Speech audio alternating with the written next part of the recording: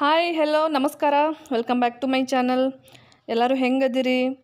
ಎಲ್ಲರೂ ಆರಾಮದಿರಿ ಅಂತ ಅಂದ್ಕೊಳ್ತಾ ನೋಡ್ರಿ, ಈಗ ನಾನು ವ್ಲಾಗ್ ಶುರು ಮಾಡತ್ತೇನೆ. ಸಂಜೆ ಐದು ಗಂಟೆ ಆಗೈತಿ. ಫುಲ್ ಮಳೆ ಅಂದ್ರೆ ಮಳೆ. ಒಂದು ಹದಿನೈದು ದಿವಸ ಆಗಿತ್ತು, ಮಳೆನೇ ಬಂದಿರಲಿಲ್ಲ. ಬರೀ ಮಳೆ ಬರೋ ಥರ ಆಗ್ತಿತ್ತು ಬಟ್ ಆಗಿರಲಿಲ್ಲ. ಇವತ್ತು ಫುಲ್ ಮಳೆ ಆಗತ್ತತಿ ಹಂಗೆ ಭಾಳ ದಿವಸದಿಂದ ಅನ್ಕೊಳತ್ತಿದ್ನಿ. ವಾರ್ಡ್ರೋಬ್ ಕ್ಲೀನಿಂಗ್ ಮಾಡೋನು ಅಂತ ಆಗಿರಲಿಲ್ಲ. ಹಳೆ ಬಟ್ಟೆ, ಹೊಸ ಬಟ್ಟೆ, ಮತ್ತು ನಾನು ಯೂಸ್ ಮಾಡದೇ ಇರೋ ಬಟ್ಟೆ ಎಲ್ಲ ಮಿಕ್ಸ್ ಆಗಿಬಿಟ್ಟಿತ್ತು. ಸೊ ಹಾಗಾಗಿ ಎಲ್ಲ ಸಪ್ರೇಟ್ ಮಾಡಿ ಇಡಾಕತ್ತೀನಿ. ಯೂಸ್ ಆಗದೇ ಇರೋ ಹಳೆ ಬಟ್ಟೆ ಎಲ್ಲ ನಾನು ಅಡುಗೆ ಮನೆ ಕ್ಲೀನಿಂಗು ಜೊತೆಗೆ ಸೋಫಾ ಒರೆಸೋದು, ಈ ಥರ ಕೆಲಸಕ್ಕೆಲ್ಲ ಕಟ್ ಮಾಡಿ ಇಟ್ಕೊಂಡ್ಬಿಡ್ತೇನೆ ಬಟ್ಟೆನ.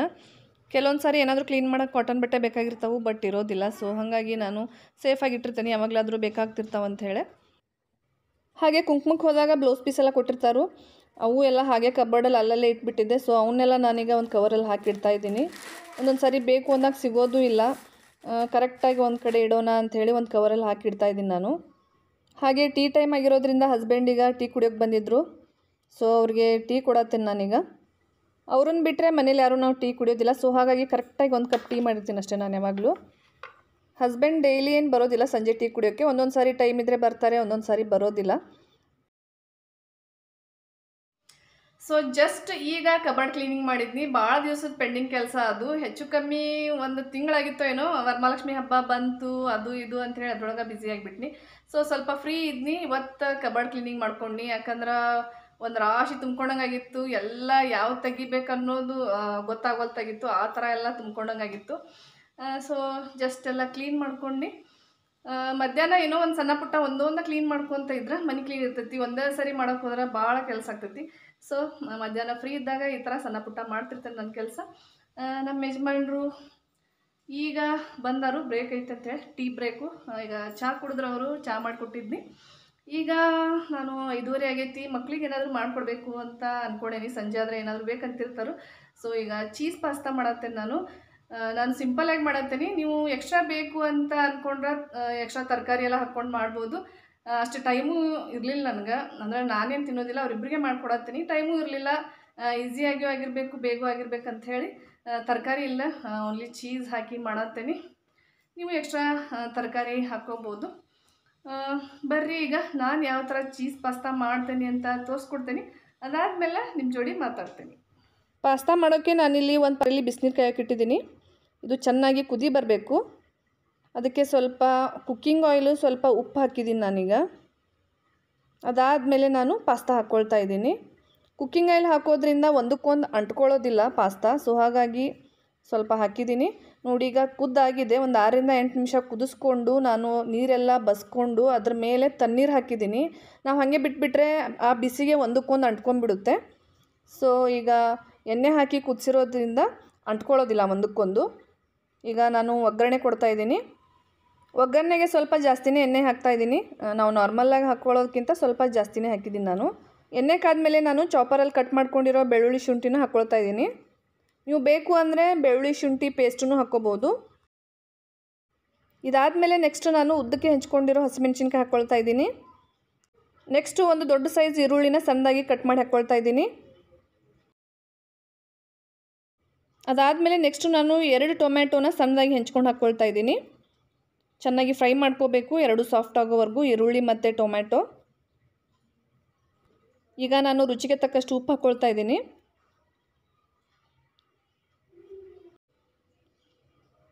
ನೆಕ್ಸ್ಟ್ ನಾನು ಪಾಸ್ತಾ ಹಾಕ್ಕೊಳ್ತಾ ಇದ್ದೀನಿ. ನೋಡಿ ಚೆನ್ನಾಗಿ ಕೈಯಿಂದ ಎಲ್ಲ ಬಿಡಿ ಬಿಡಿ ಮಾಡ್ಕೋಬೇಕು, ಒಂದಕ್ಕೊಂದು ಅಂಟ್ಕೊಂಡಂಗಾಗಿರುತ್ತೆ. ಅದಾದಮೇಲೆ ಒಗ್ಗರಣೆಯಲ್ಲಿ ಚೆನ್ನಾಗಿ ಪಾಸ್ತಾ ಎಲ್ಲ ಮಿಕ್ಸ್ ಮಾಡ್ಕೊಳ್ತಾ ಇದ್ದೀನಿ. ಈಗ ಮಿಕ್ಸ್ ಮಾಡ್ಕೊಂಡಾಯಿತು ಒಗ್ಗರಣೆಯಲ್ಲಿ. ನೆಕ್ಸ್ಟು ನಾನು ರೆಡ್ ಚಿಲ್ಲಿ ಸಾಸ್ ಹಾಕ್ಕೊಳ್ತಾ ಇದ್ದೀನಿ. ನೋಡ್ಕೊಂಡು ಹಾಕ್ಕೊಳ್ಳಿ, ನಿಮಗೆ ಕೆಲವೊಬ್ಬರಿಗೆ ಟೇಸ್ಟ್ ಜಾಸ್ತಿ ಬೇಕಾಗಿರುತ್ತೆ ಕೆಲವೊಬ್ಬರು ಕಮ್ಮಿ ಇಷ್ಟಪಡ್ತಾರೆ. ಅದಾದಮೇಲೆ ಸ್ವಲ್ಪ ಗರಂ ಮಸಾಲ. ಇದನ್ನು ಕೂಡ ನೋಡ್ಕೊಂಡು ಹಾಕ್ಕೊಳ್ಳಿ, ಜಾಸ್ತಿ ಹಾಕ್ಕೊಂಡ್ಬಿಟ್ರೆ ಖಾರ ಆಗಿಬಿಡುತ್ತೆ. ನೋಡಿ, ಎಲ್ಲ ನಾನು ಚೆನ್ನಾಗಿ ಮಿಕ್ಸ್ ಮಾಡ್ಕೊಳ್ತಾ ಇದ್ದೀನಿ. ಒಗ್ಗರಣೆ ಎಲ್ಲ ಚೆನ್ನಾಗಿ ಮಿಕ್ಸ್ ಮಾಡ್ಕೊಂಡಾದಮೇಲೆ ನಾನು ಚೀಸ್ನ ತುರ್ಕೊಳ್ತಾ ಇದ್ದೀನಿ. ನಾನು ಸ್ವಲ್ಪ ಚೀಸ್ನ ಜಾಸ್ತಿನೇ ಹಾಕ್ಕೊಳ್ತಾ ಇದ್ದೀನಿ. ಮಕ್ಕಳಿಗೆ ತುಂಬಾ ಇಷ್ಟ ಇದು. ನಿಮ್ಗೆ ಯಾವ ಥರ ಇಷ್ಟ ನೋಡಿಕೊಂಡು ಕಮ್ಮಿ ಬೇಕಾದರೆ ಕಮ್ಮಿ ಇಲ್ಲಾಂದರೆ ಜಾಸ್ತಿ ಹಾಕ್ಕೊಳ್ಳಿ. ನೋಡಿ, ನಾನು ಇಷ್ಟು ಹಾಕ್ಕೊಂಡಿದ್ದೀನಿ. ನಮ್ಮ ಮನೇಲಿ ತುಂಬ ಇಷ್ಟಪಡ್ತಾರೆ ಮಕ್ಕಳು, ಸೊ ಹಾಗಾಗಿ ಸ್ವಲ್ಪ ಜಾಸ್ತಿ ಹಾಕ್ಕೊಂಡಿದ್ದೀನಿ ನಾನು. ಅದಾದಮೇಲೆ ಚೆನ್ನಾಗಿ ಮಿಕ್ಸ್ ಮಾಡ್ಕೊಳ್ತಾ ಇದ್ದೀನಿ ನಾನು ಫೈನಲ್ ಆಗಿ ಎಲ್ಲ. ಪ್ಲೇನಾಗಿ ಒಗ್ಗರಣೆ ಹಾಕ್ಕೊಳ್ಳೋದಕ್ಕಿಂತ ಈ ಥರ ಚೀಸ್ ಹಾಕ್ಕೊಂಡು ಪಾಸ್ತಾ ಮಾಡಿಕೊಂಡ್ರೆ ತುಂಬ ಟೇಸ್ಟ್ ಆಗುತ್ತೆ. ಇದೊಂದು ಪ್ಲಸ್ ಪಾಯಿಂಟ್ ಅಂತ ಹೇಳ್ಬೋದು ಟೇಸ್ಟ್ಗೆ. ಸೊ, ಈಗ ಫೈನಲಾಗಿ ನಮ್ಮ ಬಿಸಿ ಬಿಸಿಯಾದ ಜೊತೆಗೆ ರುಚಿ ರುಚಿಯಾದ ಪಾಸ್ತಾ ರೆಡಿ ಆಯಿತು. ಸೊ, ಫ್ರೆಂಡ್ಸ್, ಈಗ ಏಳುವರೆ ಆಗೈತಿ. ನಾನು ನನ್ನ ಫ್ರೆಂಡ್ ಮನೆಗೆ ಹೊಂಟೇನಿ. ಅವರು ಅರಿಶಿನ ಕುಂಕುಮ ಕರೆದವರು ಪ್ರತಿ ವರ್ಷ ಅವರು ವರಮಹಾಲಕ್ಷ್ಮಿ ಹಬ್ಬಕ್ಕೆ ಅವರು ಪೂಜೆ ಮಾಡ್ತಾಯಿದ್ರು ಬಟ್ ಈ ವರ್ಷ ಅವ್ರಿಗೆ ಮಾಡೋಕ್ಕಾಗಲಿಲ್ಲ. ಸೊ ಹಾಗಾಗಿ ಥರ್ಡ್ ಶುಕ್ರವಾರ ಈ ಮೂರನೇ ಶುಕ್ರವಾರ ಅವರು ವರಮಹಾಲಕ್ಷ್ಮಿ ಹಬ್ಬ ಮಾಡತ್ತಾರು. ಸೊ ಹಾಗಾಗಿ ಕರೆದಿದ್ರು. ಡ್ರೆಸ್ ಹಾಕೊಂಡು ಹೋದ್ರೆ ಅಷ್ಟು ಚಂದ ಅನ್ಸಂಗಿಲ್ಲ ಅಂಥೇಳಿ ನಾನು ಸೀರೆ ಉಟ್ಕೊಂಡೇನಿ. ಅರ್ಶಿನ ಕುಂಕುಮಕ್ಕೆ.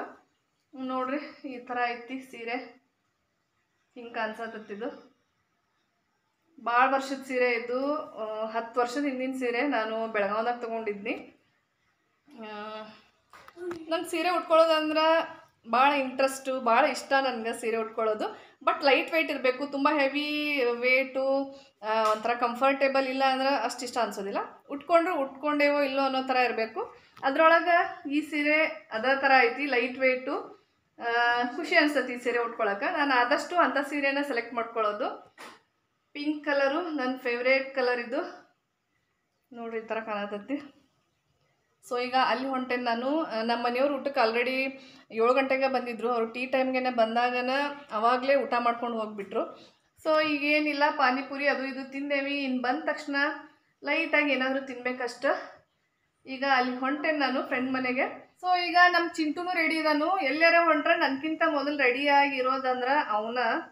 ಚಿಂಟು, ಬರೋ. ಚಿಂಟು, ಬಾ ಬೇಗ. ಸೊ ಈಗ ನಮ್ಮ ಮನೆ ಹಿಂದನ ನಮ್ಮ ಮನೆ ಹಿಂದನ ಇಂಥದ್ದು ದೂರ ಏನಿಲ್ಲ ಅವ್ರ ಮನೆ. ಅಲ್ಲಿಗೆ ಹೊಂಟೇವಿ. ಎಲ್ಲಿಗೆ ಹೋದ್ರೂ ಹೋಗೋದು ಅಂದ್ರೆ ಅವ್ನಿಗೆ ಭಾಳ ಅಂದ್ರೆ ಭಾಳ ಖುಷಿ ಭಾಳ ಇಂಟ್ರೆಸ್ಟ್ ಅವಂಗೆ. ನನಗಿಂತ ಮೊದಲನ ರೆಡಿಯಾಗಿ ನಿಂತಿರ್ತಾನು. ಹಾಗಿಲ್ಲ ದೂರ ಇಲ್ಲಲ್ಲ. ಹೊಸ ಚಪ್ಪಲಿ ಹಾಕು ಅಂತ ಹೇಳತ್ತಾನು. ಇಲ್ಲೇ ಹತ್ರ ಐತೆ ಅಂತ ಹೇಳತ್ತೇನೆ ಅವನಿಗೆ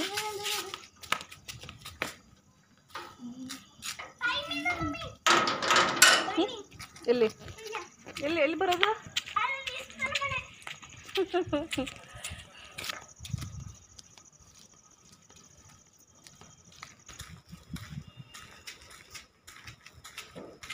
ಈ ಕಡೆ ಮನೆ ಕನ್ಸ್ಟ್ರಕ್ಷನ್ ಮಾಡ್ತಾ ಇದ್ದಾರೆ. ನಾನು ಯಾವಾಗಲೂ ಹೇಳ್ತಾ ಇರ್ತೀನಲ್ಲ ನಮ್ಮ ಮನೇಲಿ ಸೌಂಡ್ ಬರ್ತಾ ಇರುತ್ತೆ ಕನ್ಸ್ಟ್ರಕ್ಷನ್ದು ಅಂತ. ಇದೇ ಮನೆ ಅದು. ಹಾಗೆ ಇದೇ ಮನೆಗೆ ನಾನೀಗ ಕುಂಕುಮಕ್ಕೆ ಹೋಗ್ತಾ ಇರೋದು. ಇವ್ರದ್ದು ಕೂಡ ಡುಪ್ಲೆಕ್ಸ್ ಹೌಸು ಗ್ರೌಂಡ್ ಫ್ಲೋರು ಬಾಡಿಗೆ ಕೊಟ್ಟಿದ್ದಾರೆ. ಫಸ್ಟ್ ಫ್ಲೋರಿಂದ ಅವ್ರದ್ದು ಡುಪ್ಲೆಕ್ಸ್ ಹೌಸು ನೋಡಿ, ಈ ಥರ ಇದೆ. ಈಗೀಗ ರೀಸೆಂಟಾಗಿ ಕಟ್ಟಿರೋದು ನೋಡಿ ಎಂಟ್ರೆನ್ಸ್ ಆದ ತಕ್ಷಣ ಫಸ್ಟು ಲೆಫ್ಟಲ್ಲಿ ಈ ಥರ ಇದೆ.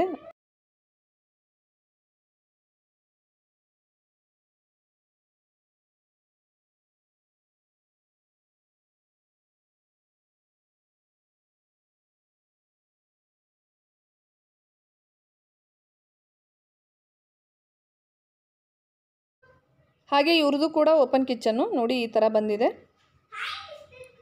ಪಕ್ಕದಲ್ಲಿ ಈ ಥರ ಅವರು ದೇವ್ರ ಮನೆ ಮಾಡಿದ್ದಾರೆ. ಚೆನ್ನಾಗಿ ಬಂದಿದೆ. ವುಡ್ ವರ್ಕ್ ಎಲ್ಲ ಚೆನ್ನಾಗಿ ಮಾಡಿಸಿದ್ದಾರೆ. ಈ ಕಡೆ ಸ್ಟೆಪ್ಸು ಮೇಲ್ಗಡೆ ಹೋಗೋಕ್ಕೆ ಹಾಗೆ ಇವರೇ ಚಂದ್ರಿಕಾ, ಇವ್ರದೇ ಮನೆ ಇದು. ಟಿ ವಿ ಕ್ಯಾಬಿನೆಟ್ ನೋಡಿ ತುಂಬ ಚೆನ್ನಾಗಿ ಮಾಡಿಸಿದ್ದಾರೆ. ಹಾಗೆ ಇವರು ಗೀತಾ ನನ್ನ ಹಸ್ಬೆಂಡು ಮತ್ತು ಗೀತಾ ಅವ್ರ ಹಸ್ಬೆಂಡು ಚಂದ್ರಿಕಾ ಅವ್ರ ಹಸ್ಬೆಂಡು ಒಂದೇ ಕಡೆ ವರ್ಕ್ ಮಾಡ್ತಾರೆ. ನಾವು ಮುಂಚೆಯಿಂದನೂ ಪರಿಚಯ ಇದ್ದೀವಿ ಕ್ವಾರ್ಟರ್ಸಲ್ಲಿ ಇದ್ದಾಗಿಂದ. ಹಾಗೆ ಅವ್ರ ದೇವ್ರ ಮನೆ ಯಾವ ಥರ ಬಂದಿದೆ ಅಂತ ನಾನು ನಿಮಗೆ ತೋರಿಸ್ತಾ ಇದ್ದೀನಿ. ನೋಡಿ ವುಡ್ ವರ್ಕ್ ತುಂಬ ಚೆನ್ನಾಗಿ ಮಾಡಿಸಿದ್ದಾರೆ.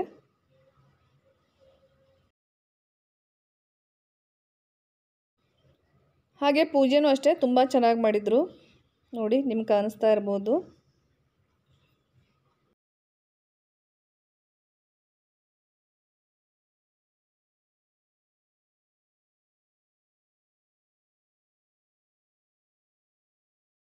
ಜಸ್ಟ್ ಕುಂಕುಮ ಎಲ್ಲ ತೊಗೊಂಡು ಈಗ ಬನ್ನಿ ಇನ್ನೇನಿಲ್ಲ, ಊಟ ಅಷ್ಟ ಮಾಡಬೇಕು. ಊಟಕ್ಕಿಂತ ಮುಂಚೆ ನಾನು ಫಸ್ಟು ಮೆಹಂದಿ ಪೌಡ್ರನ್ನ ಕಲಸಿಡ್ಬೇಕಂತ ಅಂದ್ಕೊಂಡೇನಿ ಒಂದೊಂದು ಸಾರಿ ಊಟ ಎಲ್ಲ ಆಗಿ ಕೆಲಸ ಎಲ್ಲ ಮಾಡೋಷ್ಟೊತ್ತಿಗೆ ಟೈರ್ಡ್ ಅನಿಸ್ಬಿಡ್ತೈತಿ. ಮೆಹಂದಿ ಪೌಡರ್ ಕಲ್ಸೋದು ಬೇಡಪ್ಪ ಅಂಥೇಳಿ ನಾಳೆ ನಾಳೆ ಅನ್ಕೊಂತನ ಹೋಗ್ಬಿಡ್ತೈತಿ. ಸೊ ಈಗ ಫಸ್ಟು ಮೆಹಂದಿ ಪೌಡರ್ ಕಲಸಿ ನಾನು ಆಮೇಲೆ ಊಟ ಮಾಡಬೇಕಂತ ಅಂದ್ಕೊಂಡೇನಿ ಆಲ್ರೆಡಿ ಹೇಳಿದೆ ನಾನು, ನುಪ್ಪೂರ್ ಮೆಹಂದಿ ಪೌಡ್ರ್ ಯೂಸ್ ಮಾಡ್ತೇನಂತ. ಬರ್ರಿ ಈಗ ಹಂಗೆ ಮಾತಾಡ್ಕೊಂತ. ನನ್ನ ಹೇರ್ಸ್ ಭಾಳ ಅಂದ್ರೆ ಭಾಳ ಕರ್ಲಿ ಅದಾವು. ಈಗಲೂ ಕನ್ಸತ್ತಿರ್ಬೋದು ಒಂಥರ ಯಾವಾಗಲೂ ಎದ್ದು ನಿಂತಂಗೆ ಆಗಿರ್ತಾವೆ. ಸೊ ಅದನ್ನು ಹಚ್ಕೊಂಡ್ರೆ ಏನಾಗ್ತೈತೆ ಅಂದರೆ ಸ್ವಲ್ಪ ಏನೋ ಸಿಲ್ಕಿ ಅನ್ನಿಸ್ತಾವು ಮತ್ತು ಈ ಥರ ಯಾವಾಗಲೂ ಎದ್ದು ನಿಲ್ತಾವಿಲ್ಲ ಮೇಲೆ.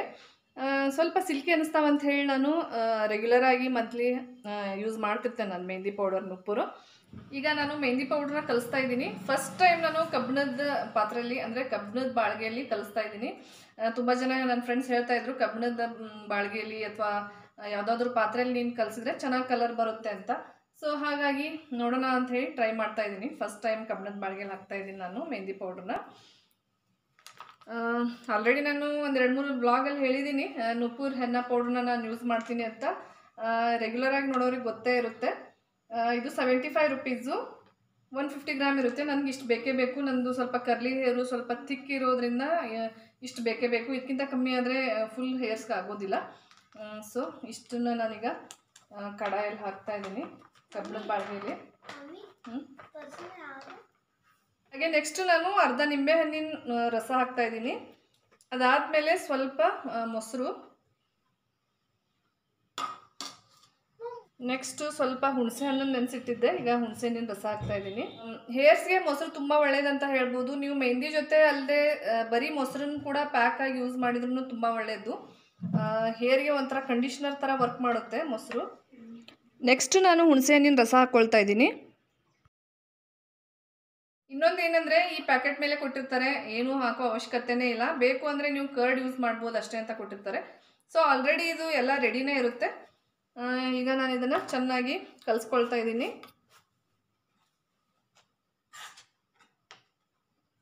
ನಿಮಗೆ ವೈಟ್ ಹೇರ್ಸ್ ಇಲ್ಲ ಅಂದರೂ ಕೂಡ ಇದನ್ನು ಯೂಸ್ ಮಾಡ್ಬೋದು. ಯಾಕಂದರೆ ಕೆಲವೊಬ್ಬರಿಗೆ ಡ್ಯಾಂಡ್ರಫ್ ಇರುತ್ತೆ ಕೆಲವೊಬ್ಬರಿಗೆ ಒಂಥರ ಇಚ್ಚಿಂಗ್ ಇರುತ್ತೆ ಕೂದಲಲ್ಲಿ. ಸುಮ್ಮನೆ ಯಾವಾಗಲೂ ಒಂಥರ ತುರುಕೆ ಬಂದಂಗೆ ಆಗ್ತಾ ಇರುತ್ತೆ. ಸೊ ಅದೆಲ್ಲದಕ್ಕೂ ಇದು ಒಳ್ಳೆ ಸೊಲ್ಯೂಷನ್ ಅಂತ ಹೇಳ್ಬೋದು. ಹಾಗೆ ನಮ್ಮ ಚಿಂಟು ಇಲ್ಲೇ ಕುಂತಾನೆ ನೋಡ್ರಿ. ಮಧ್ಯಾಹ್ನ ಓದ್ಪ ಅಂದ್ರೆ ಅದು ಬ್ಯಾಡ್ ಹ್ಯಾಬಿಟ್ ಅಂತ ಮಧ್ಯಾಹ್ನ ಓದ್ಕೊಳ್ಳೋದು. ಬರೀ ರಾತ್ರಿ ಅಷ್ಟೇ ಓದ್ಕೋಬೇಕಂತ. ರಾತ್ರಿ ಒಂದು ಹತ್ತು ನಿಮಿಷ ಓದ್ಕೊಳಕ್ಕೆ ಶುರು ಮಾಡಿರ್ತಾನು ಸುಸ್ತಾಗ್ತೈತಂತ ಬರೀ ಅಂದ್ರೆ ಕೈನೂ ಒಂದು ಶುರು ಮಾಡ್ತಾನು. ಹೆಂಗೆ ಓದ್ಸೋದು ಇವಂಗ? ಮಧ್ಯಾಹ್ನನೂ ಬ್ಯಾಡ್ ಹ್ಯಾಬಿಟ್ಟು ರಾತ್ರಿನೂ ಈ ಥರ ಅಂತಾನು. ಸೊ ನಾನು ಅವನು ಸ್ವಲ್ಪ ಎಳೆದು ಎಳೆದು ಕುಂಡಿಸ್ತಿರ್ತಾನೆ, ಹಾಗೆಲ್ಲ ಮಾಡಬೇಡಪ್ಪ ಅಂತ ಹೇಳಿ. ಸೊ ಇದನ್ನು ನಾನೀಗ ನೆನೆಯೋಕೆ ಇಡ್ತಾ ಇದ್ದೀನಿ. ಯಾಕಂದರೆ ಬೆಳಿಗ್ಗೆ ಬೆಳಿಗ್ಗೆ ನೆನೆಸಿಟ್ಟು ಹಚ್ಕೊಳೋಕ್ಕೆಲ್ಲ ಆಗಲ್ಲ. ರಾತ್ರಿ ನೆನೆಸಿಟ್ರೆ ಬೆಳಗ್ಗೆ ಬೆಳಿಗ್ಗೆ ಕೆಲಸ ಶುರು ಮಾಡೋಕ್ಕಿಂತ ಮುಂಚೆ ಬೇಗ ಹಚ್ಕೊಂಡ್ಬಿಡ್ಬೋದು. ಬೇಗ ತಲೆಗೆ ಹಚ್ಕೊಂಡ್ರೆ ಬೇಗನೂ ಆರೋಗ್ಬಿಡುತ್ತೆ ನಾವು ಮಧ್ಯಾಹ್ನ ಹನ್ನೆರಡು, ಒಂದು ಗಂಟೆಗೆ ಹಚ್ಕೊಂಡ್ರೆ ಪೂರ್ತಿ ದಿವಸ ಅದರಲ್ಲೇ ಹೋಗುತ್ತೋ ಏನೋ ಅನಿಸ್ಬಿಡುತ್ತೆ. ಸೊ ಈಗ ಎತ್ತಿಡ್ತಾ ಇದ್ದೀನಿ ಇದನ್ನು. ಸೊ ಈಗ ನಾನು ಮೇಕಪ್ ಹೇಗೆ ರಿಮೂವ್ ಮಾಡೋದು ಅಂತ ತೋರಿಸ್ಕೊಡ್ತಾ ಇದ್ದೀನಿ. ನಾನು ಹಾಗೆ ಸಿಂಪಲ್ಲಾಗಿ ಮಾಡ್ಕೊಂಡಿದ್ದೆ. ಲೈಟಾಗಿ ಲಿಪ್ಸ್ಟಿಕ್ ಹಚ್ಕೊಂಡಿದ್ದೆ. ಅದನ್ನು ನಾನು ರಿಮೂವ್ ಮಾಡಬೇಕಂದ್ರೆ ವ್ಯಾಸ್ಲಿನ್ ಹಚ್ಕೊಂಡು ಫಸ್ಟ್ ಎಲ್ಲ ಚೆನ್ನಾಗಿ ಮಸಾಜ್ ಮಾಡ್ಕೊಂಡಾದಮೇಲೆ ಒಂದು ಟಿಶ್ಯೂ ಪೇಪರಿಂದ ತೆಗೆದಿರ್ತೀನಿ. ಡೈರೆಕ್ಟಾಗಿ ತೆಗಿಯೋಕೆ ಹೋದರೆ ಲಿಪ್ಸ್ ಒಂಥರ ಡ್ರೈ ಆದಂಗೆ ಅನಿಸುತ್ತೆ. ನೆಕ್ಸ್ಟ್ ನಾನು ಮೇಕಪ್ ರಿಮೂವ್ ಮಾಡೋಕ್ಕೆ Lakme nine to five makeup remover use ಮಾಡ್ತಾ ಇದ್ದೀನಿ. ನಾನೇನು ಜಾಸ್ತಿ ಏನು ಮೇಕಪ್ ಮಾಡಿರಲಿಲ್ಲ. Only Lakme nine to five C C ಕ್ರೀಮ್ನ ನಾನು ಯೂಸ್ ಮಾಡಿದ್ದೆ ಅಷ್ಟೇ. ನಾವು ಮೇಕಪ್ ರಿಮೂವ್ ಮಾಡದೆ ಹಾಗೆ ಮಲ್ಕೊಂಡ್ರೆ ಸ್ಕಿನ್ ಡ್ಯಾಮೇಜ್ ಆಗೋ ಚಾನ್ಸಸ್ ಇರುತ್ತೆ. ಸೊ, ಹಾಗಾಗಿ ಕಂಪಲ್ಸರಿ ಮೇಕಪ್ ರಿಮೂವ್ ಮಾಡ್ಕೊಳ್ಳೇಬೇಕು. ನಿಮ್ಮ ಹತ್ರ ಕ್ರೀಮ್ ಇಲ್ಲ ಅಂದರೂ ಕೂಡ ನೀವು ಕೋಕೋನಟ್ ಆಯಿಲಿಂದ ತೆಗಿಬೋದು. ಮೇಕಪ್ ರಿಮೂವ್ ಮಾಡ್ಕೊಂಡಾದ್ಮೇಲೆ ಕಂಪಲ್ಸರಿ ಫೇಸ್ ವಾಶ್ನು ಮಾಡ್ಕೋಬೇಕು. ಯಾಕಂದರೆ ಕೆಲವೊಬ್ಬರು ಮೇಕಪ್ ರಿಮೂವ್ ಮಾಡ್ಕೊಂಡಿದ್ದೀವಲ್ಲ ಅಂಥೇಳಿ ಫೇಸ್ ವಾಶ್ ಮಾಡ್ಕೊಳ್ಳೋದಿಲ್ಲ. ಫೇಸ್ ವಾಶ್ ಮಾಡ್ಕೊಳ್ಳಿಲ್ಲ ಅಂದರೆ ಅಷ್ಟು ಕ್ಲಿಯರಾಗಿ ನಮ್ಮ ಮುಖದಲ್ಲಿರೋ ಮೇಕಪ್ ಹೋಗೋದಿಲ್ಲ. ಸೊ, ಇದಾದಮೇಲೆ ನಾನೀಗ ಫೇಸ್ ವಾಶ್ ಮಾಡ್ಕೊಳ್ತಾ ಇದ್ದೀನಿ. ನೋಡಿ ಜಸ್ಟ್ ಫೇಸ್ ವಾಶ್ ಮಾಡ್ಕೊಂಡಾಯಿತು. ನೋಡಿದ್ರಲ್ಲ ಸ್ನೇಹಿತರೆ, ಇವತ್ತಿನ ವ್ಲಾಗ್ನ ಇವತ್ತಿನ ಪಾಸ್ತಾ ರೆಸಿಪಿ ಕೂಡ ನಿಮಗೆಲ್ಲ ಇಷ್ಟ ಆಗಿದೆ ಅಂತ ಅಂದ್ಕೊಳ್ತೀನಿ ಇಷ್ಟ ಆದರೆ ಲೈಕ್ ಮಾಡಿ ಹೊಸಬರಾಗಿದ್ದರೆ ಸಬ್ಸ್ಕ್ರೈಬ್ ಮಾಡ್ಕೊಳ್ಳಿ. ಮತ್ತೆ ಸಿಗೋಣ ಆದಷ್ಟು ಬೇಗ ಮುಂದಿನ ವ್ಲಾಗಲ್ಲಿ ಅಲ್ಲಿವರೆಗೂ ಎಲ್ಲರಿಗೂ ನಮಸ್ಕಾರ. Thank you bye bye good night